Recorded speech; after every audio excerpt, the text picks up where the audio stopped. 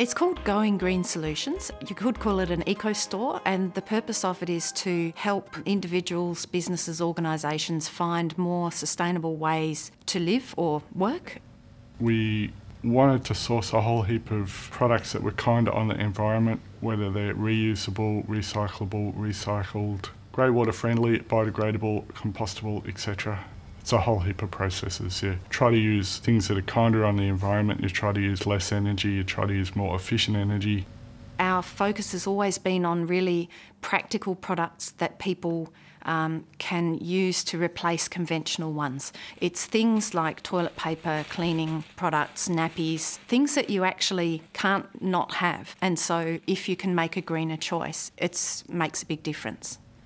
There's myself and Lucinda, who are the owners, also working in and on the business. And then there's Hannah and Michelle, who are both in sales and admin. We're always happy for them to say things, to put their thoughts forward. And yeah, if it seems like it'll work, we'll try it. It was actually Michelle that said we should get up those blinds on the western windows. We'd talked about it before, but she's been really following that up and reminding us, you know, get some bamboo blinds. Turning off the hot water system costed nothing. We just turned it off and didn't use it anymore. An electric hot water storage system um, is on all the time and it's heating the water every day. We really only needed cups of tea and there's only a few of us to wash the dishes, so we decided to get a really energy efficient kettle and do that, and I think we would have saved a lot by doing that. We've installed standby power controllers that, and they go to every printer and computer over the shop. So at the end of the day, we turn that off and we know nothing's on standby power. That is a small cost, but really these days you can get standby power controllers for not very much. Well, the one we have is called an Efergy power monitor. There are a few different brands on the market and it clips straight onto the mains leads. You need an electrician to do it, but it's quite an easy job. And then it gives you a moment by moment readout of how much energy is being used. So you can watch it yourself, but also you can download the data onto a computer and compare week by week, month by month, year by year. We got rid of our really big fridge that we weren't using much and we got a second hand bar fridge and gave the old big one to the op shop.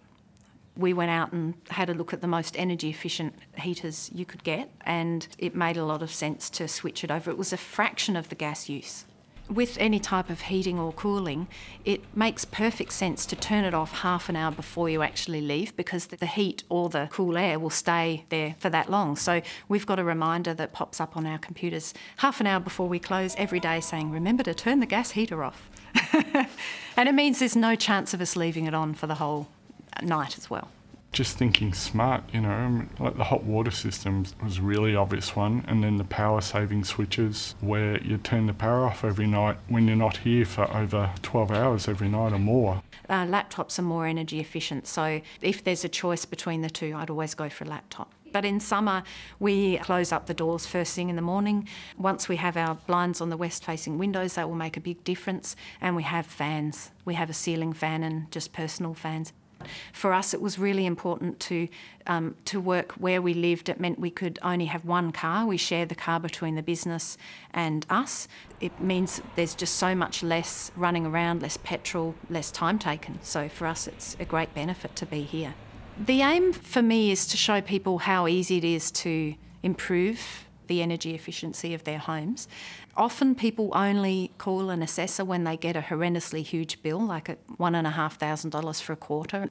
The cost of getting an energy assessor, or probably of undertaking the work yourself, might be a few hundred dollars, but it is very likely that you could save that amount back and then every quarter thereafter just by making some minor adjustments.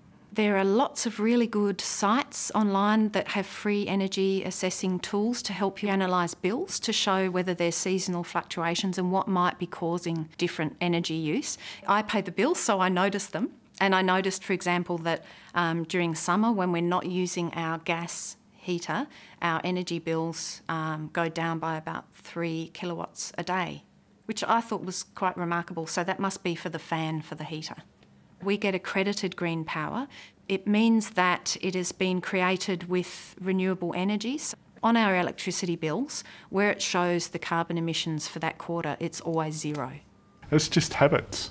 You know, you form a habit to be that way, and it becomes a part of how you are and who you are.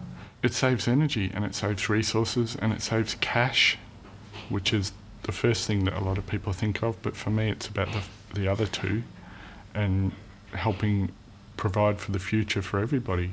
There are so, so many things you can do without any cost. And it's estimated that about 70% of reduction in bills for a household is just purely by behavioural changes.